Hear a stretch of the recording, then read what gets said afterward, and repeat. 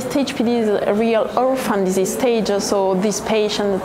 that are on AR 4 and 5, it means that uh, they walk with aid or they have a quite postural instability and they do not walk at all and they have cognitive impairment mostly in 70% of the case, so they are patients that do not are usually included in Parkinson's disease trials because they are too advanced. And uh, as I have highlighted in my presentation, there are several, a few pharmacological trials ongoing and a few non-pharmacological trials that are trying to include PD patient up to an AR4, but not 5, that are quite important in terms of uh, treatment of falls and um, gait disturbances. And the personalized care on late-stage Parkinson's disease is quite important. It's based mainly on the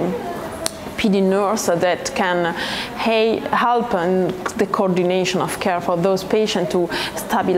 establish a sort of list of priority of cares. And then she could uh, coordinate all the multidisciplinary cares, I mean the neurologist, the um, MD, the, um, the neuropsychologist needed, the dietitian and, the, and all the, the person that could be the speech therapist and physiotherapist uh, for sure. And so um, because those kind of patients they are not used to come at the hospital, they usually live at home, a little bit isolated or in institutionalization. So we, we need to move to see them, and uh, this could be only made in agreement with a PD nurse or some uh, community-based uh, healthcare professional uh, that can, stabilize, can establish the priority for them. Yeah, PD-PAL is um, it is not me, the promoter of the PDPAL, it is Professor Antonini, the PI, the principal investigator from the University of Padova. And um, idea is to, is to focus to,